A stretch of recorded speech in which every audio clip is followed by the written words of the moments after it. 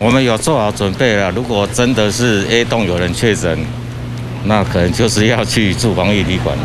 做好心理建设，连行李都准备好了，毕竟病毒就在家门前。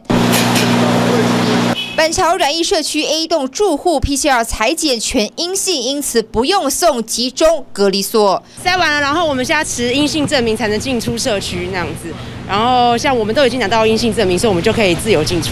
倒是要采十四天自主健康管理，只是社区内只有两栋大楼，难免会有一些重叠的共用空间，例如 B 栋一楼的游戏室、停车场出入口，以及要进出社区一定得走的中庭和大门。那个儿童玩的都就是都已经封起来了，因为现在刚好开起来，那个应该会比较少人在那边玩。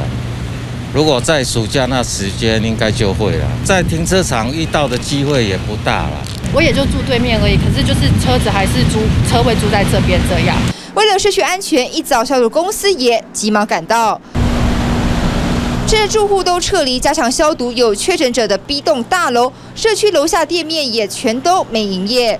虽然是隶属于 A 栋的早餐店，为了配合防疫，而且是属于公共的户外空间，业者还是决定拉上铁门，暂时歇业几天，就是希望疫情不要扩散。